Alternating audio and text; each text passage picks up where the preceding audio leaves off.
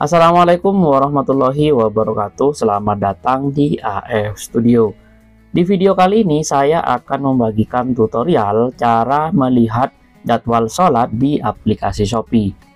Selain digunakan untuk belanja, Shopee juga menyediakan fitur tentang jadwal sholat. Kemudian bagaimana cara untuk melihat jadwal sholat di aplikasi Shopee? Pertama kita masuk terlebih dahulu ke aplikasi Shopee Selanjutnya, apabila kita sudah berada di aplikasi Shopee, di sini kita ketuk pilihan menu yang ini di bagian sini teman-teman kita ketuk lihat semua seperti ini.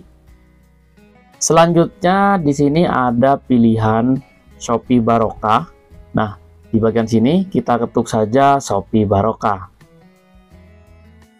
Selanjutnya untuk melihat jadwal sholat di bagian atas ini ada pilihan jadwal sholat kita ketuk saja seperti ini maka di sini akan ada pilihan jadwal sholat.